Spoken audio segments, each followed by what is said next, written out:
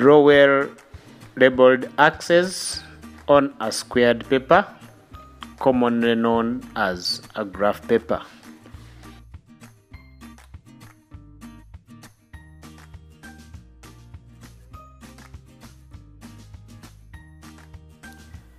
Ensure the axes have a consistent scale and are strategically placed to give room for object and image coordinates.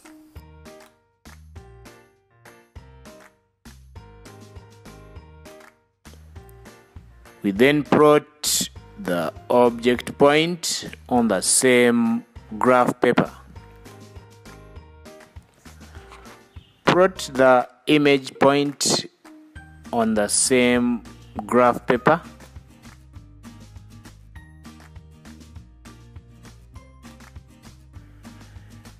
Join the object point P and its image P prime using a straight line.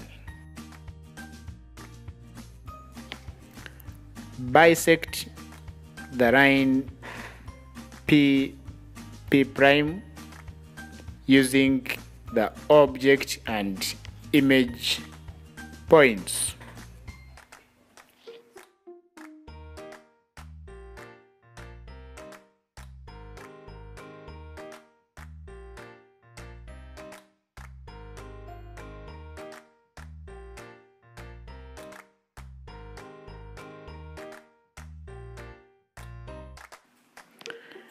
After bisecting, join the two intersecting arcs using a straight line.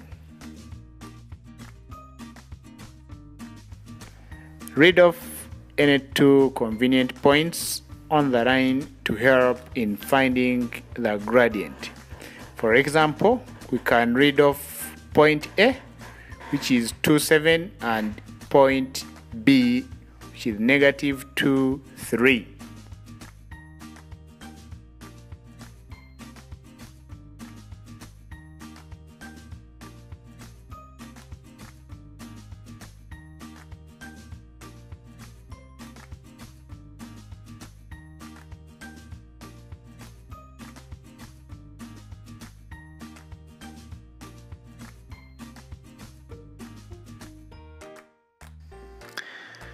Using the coordinates of A and B, we can calculate the gradient as change in y coordinates over change in x coordinates.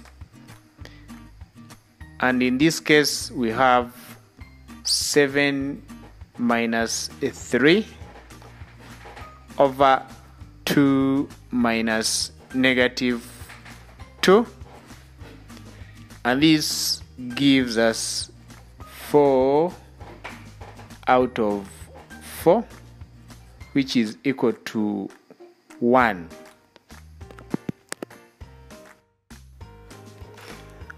assume a point on the line with unknown coordinates xy and use it with the known coordinates say b to calculate the second gradient. Since this line has the same gradient, we equate the two calculated gradients and in this case we will have y minus 3 over x plus 2 equal to 1. On solving the equation, we will attain y equal to x plus 5 and that becomes our mirror line equation.